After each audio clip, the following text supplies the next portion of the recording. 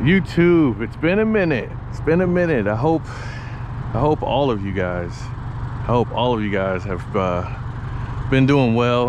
Um, I've been super busy. I mean, what else is new? I'm always busy, uh, always doing something, always have to do something. Uh, that's just part of adulting, and adulting sucks. I mean, uh, most of you who are adults know that responsibilities are for losers and we just so happen to be the biggest losers. But anyway i did want to discuss with you guys about my second autocross event or second and third third?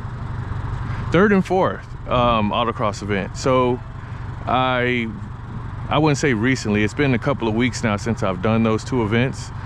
Um, and i will post my best and worst time that i've gotten. Um, but I could definitely say that it was a huge improvement over what I have done previously, the very, very first time, which is always good. Um, progress is always a good thing, but let's just get in the car and I'll discuss with you, you know, what happened during those set events.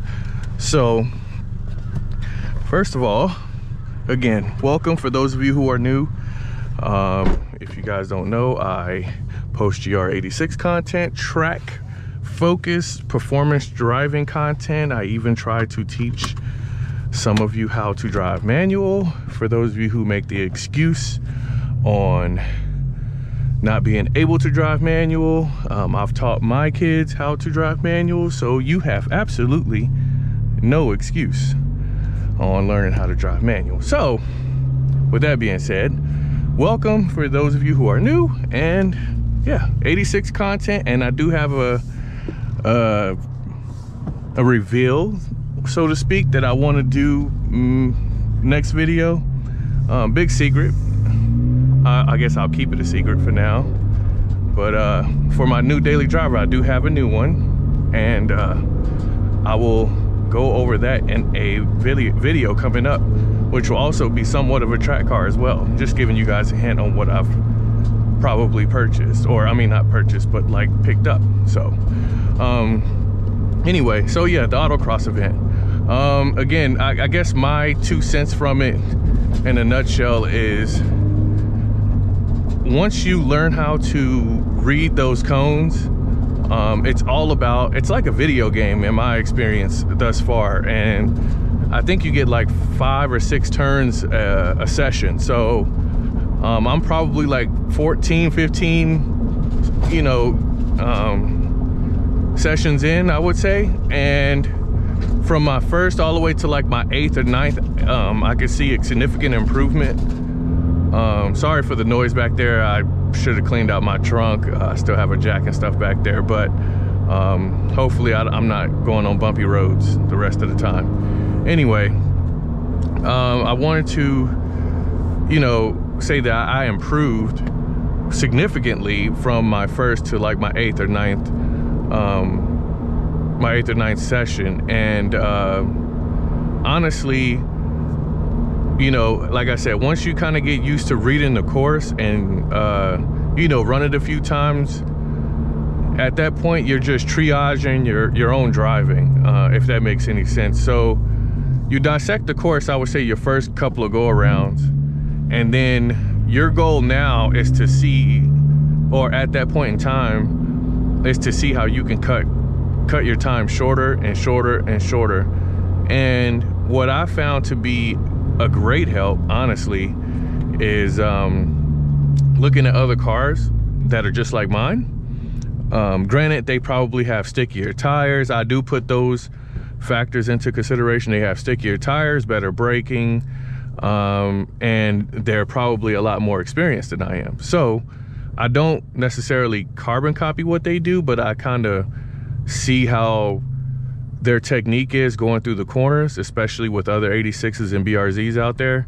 So I, I usually do that and try to see how fast they're turning the corner.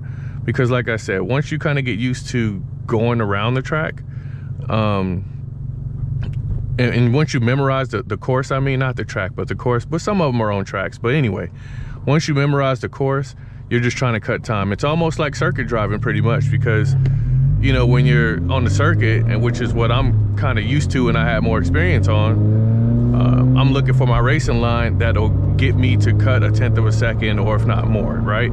So in the autocross, um, you're pretty much doing the same thing. And then with me being such a novice at it, um, I was looking at others who drive the same platform that I have. And I try to pick up, you know, pick up some of their tips and also their techniques in order to uh, you know improve my skills because one thing that I think this goes with in life in general is like if you are very stubborn and you don't want to learn from others you're never gonna succeed in my opinion. Um, I'm always willing to learn and I'll always look up to see you know especially from someone who has more way more experience in that in that task than I do.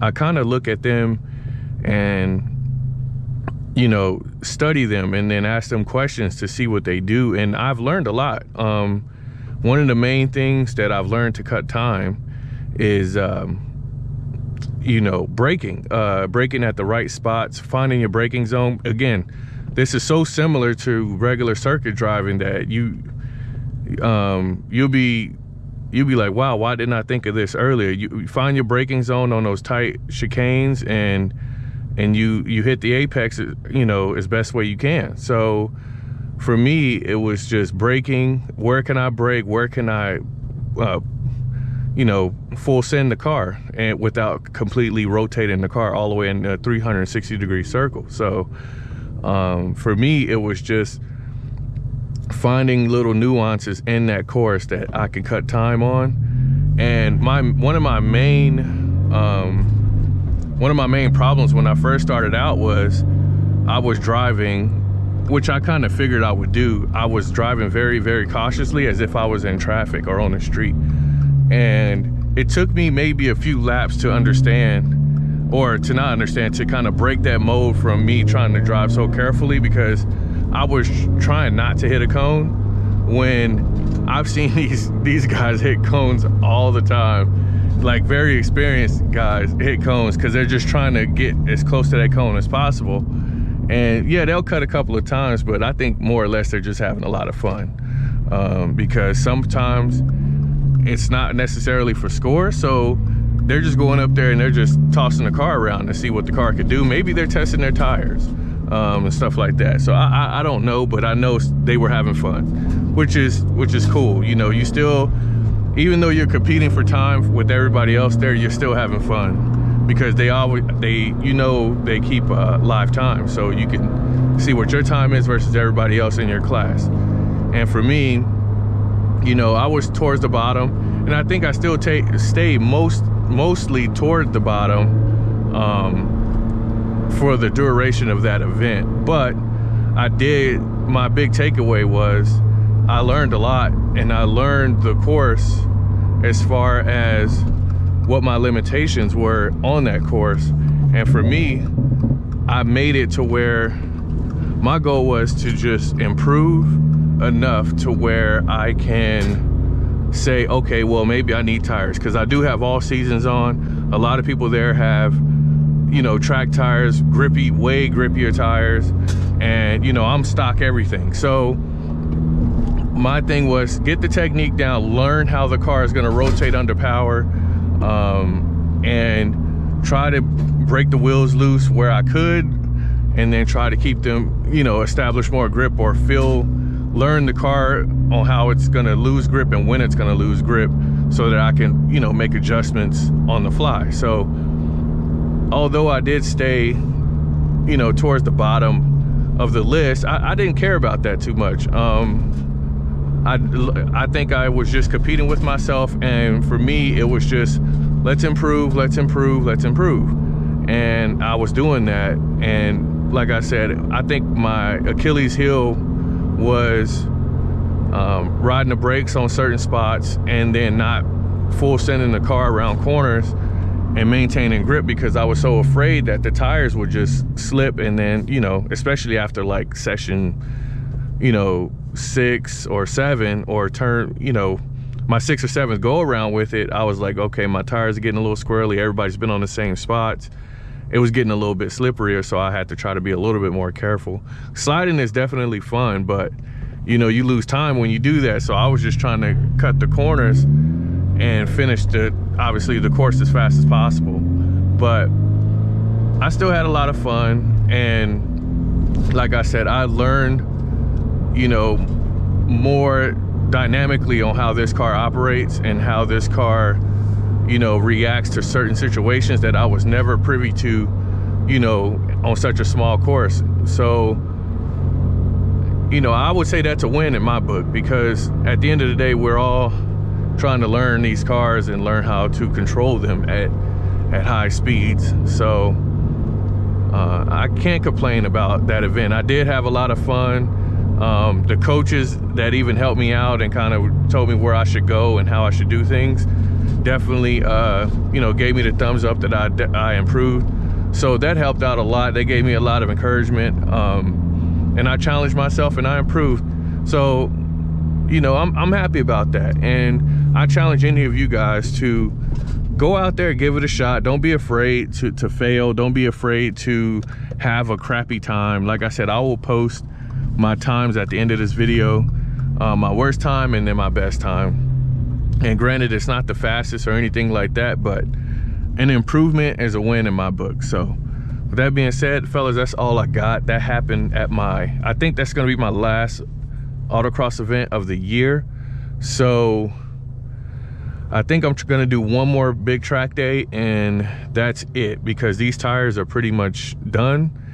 Uh, the brakes are fine. The tires are just not, um, I mean, again, they're all seasoned. So um, I'm just gonna, now that I have my daily driver, um, I'm gonna hang her up after one more track event and I'm gonna park her for the most part and continue to make improvements to the car um, to make it function a lot better uh, during the winter time. So you know, now that this isn't my daily driver, I, am definitely uh, going to take my time with this build. I know um, you guys are mainly looking at builds that happen overnight. They just don't for me. Uh, they don't for most normal people that just don't get parts sent to them. Uh, so I do got some stuff coming in for the 86. And again, I got a new daily driver like I told you guys. So now I can completely focus on building this car first.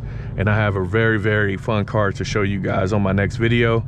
Uh, don't forget to like, comment, and subscribe. And um, also, for the like I said, for those of you who are new, um, I run mainly 86 content. Um, try to, I'm trying to do this performance driving thing and you know, uh, spirited driving thing. So I do a little bit of both. Um, talk about uh, random things that's going on in the JDM community. I am predominantly a JDM fan, so you'll mainly hear anything JDM on my channel. Uh, so if you like the content, please subscribe, please like the video, please share the video.